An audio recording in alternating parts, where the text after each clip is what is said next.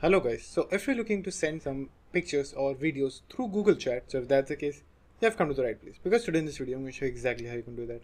Now firstly open your browser and go to your Google Chats. So as you can see I'm currently in a chat. Now to upload a file, all you have to do is just simply click on the upward arrow over here as you can see, click on it. Then a pop-up should appear. Now just simply choose the media that you want to upload. It may be an image or a file or a video, it's totally up to you so for me, first I'm going to upload an image. So click on the image or just simply double click it or just simply choose the image and hit open. It will work the same. Now, as you can see, the image is loaded. You can also write something over here. And after doing that, just simply click on the send icon over here and the image will be posted. Now you can also upload videos by the same process by click on the upward arrow.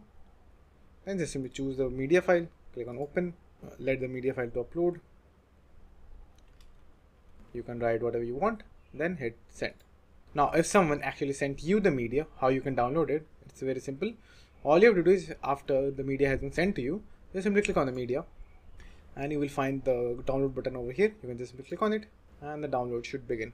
As you can see right over here. You can do the same for the media file as well. Click on it and the download should start. So that's it. And thank you for watching and do like and subscribe to my channel and take care.